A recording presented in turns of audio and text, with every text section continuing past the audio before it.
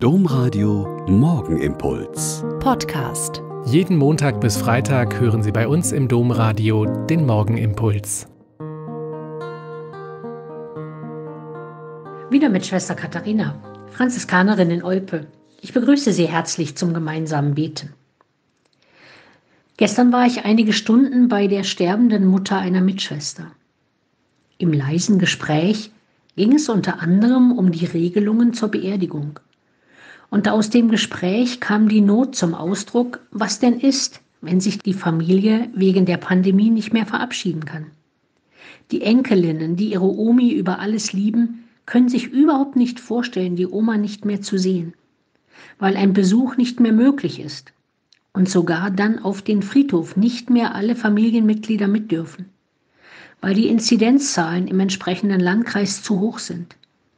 Selbst der dort angefragte Priester musste eingestehen, dass die Todeszahlen in seinem Pfarreiverbund so hoch sind, dass ein Trauergespräch nicht mehr möglich ist, da er und seine Mitarbeiter es nicht mehr schaffen. Was jetzt?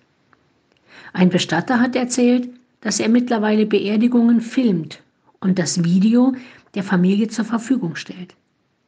Die Idee einer anderen Seelsorgerin schien mir auch bemerkenswert an alle Verwandten einen Brief oder eine Mail zu schicken, mit den Daten und Informationen über die Verstorbenen, mit Fotos und Erinnerungen, mit einem Bibeltext und einem Gebet und mit der Aufforderung, am entsprechenden Beerdigungszeitraum sich Zeit zu nehmen, eine Kerze anzuzünden und sich im Gebet mit dem Verstorbenen und der Familie zu verbinden. Kriege, Katastrophen und Pandemien haben unser Leben und unsere Art, mit dem Tod umzugehen, immer wieder verändert. Und auch diese Pandemie wird andere Rituale und Formen begründen. Was aber bleiben wird, ist die Hoffnung auf den Gott, dessen Sohn für uns Leid und Tod überwunden hat und uns himmlische Perspektiven eröffnet hat.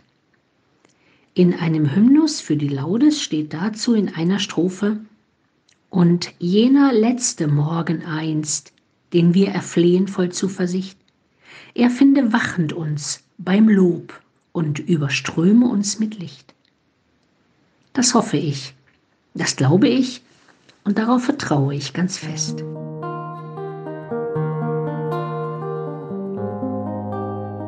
Der Morgenimpuls mit Schwester Katharina, Franziskanerin aus Olpe, jeden Montag bis Freitag um kurz nach sechs im Domradio.